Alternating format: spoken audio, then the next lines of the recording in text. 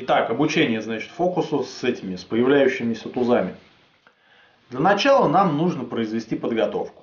То есть берем колоду номер один и в нее, ну лично как я делаю, кладем где-нибудь снизу карты, так, шестой, седьмой, нашего туза, которого мы якобы случайно выберем. Вы можете положить его изначально наверху колоды, либо изначально внизу, либо можете там под стаканчик эту карту сразу положить. Без разницы. Ну, в общем, проводим подготовку. Лично я делаю вот так. Кладу его шестой или седьмой картой снизу. Далее.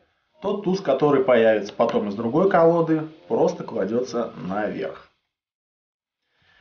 Итак, когда мы берем первую колоду и говорим, что, мол, давай сейчас я там выберу наугад там какую-нибудь карту, да, то есть, пока мы это говорим, мы как бы не спеша пролистываем 6 карт, вот, ну, зрителю их, конечно, показывать не надо, мы их поднимаем чуть на себя, ну, то есть, как раз вот, давай я сейчас пролистаю, выберу какую-нибудь карту, ну, как раз вот под эти слова приходит у нас туз, ну, и мы его кладем, якобы откладываем, случайную карту.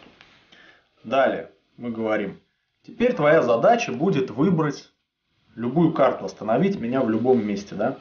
В этот момент мы начинаем пролистывать первую карту вот этого туза. В эту ладонь уходит он, в левую.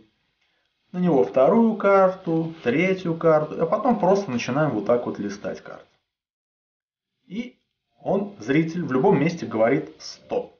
Ну, допустим, он сказал стоп вот в этом месте, да? Но у нас карты лежат вот так вот. Туз у нас вот он, снизу, самый нижний. Зритель сказал стоп вот на этой вот карте. Что мы делаем? Мы берем их вот так вот складываем, подравниваем и просим зрителя запомнить. После чего колоду, значит, убираем сюда.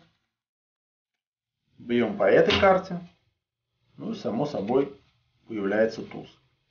То есть само движение понятно, да? То есть вот верхняя карта, пролистали раз, два и пошли вот так вот просто пролистывать. Как только он сказал стоп, допустим, вот на этом месте, сразу подровняли, дали запомнить, убрали.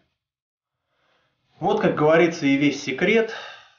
Так что, если фокус вам понравился, пожалуйста, можете брать его в свой арсенал.